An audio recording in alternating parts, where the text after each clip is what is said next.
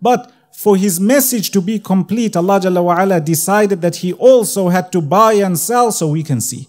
The Messenger sallallahu alayhi wasallam, as recorded in Sahih al-Bukhari, when wanting to buy the camel of Jabir radiallahu anhu, he starts asking him about his condition. He then asks him about the camel. He then agrees a price with him. Before agreeing, he is negotiating with Jabir radiallahu anhu.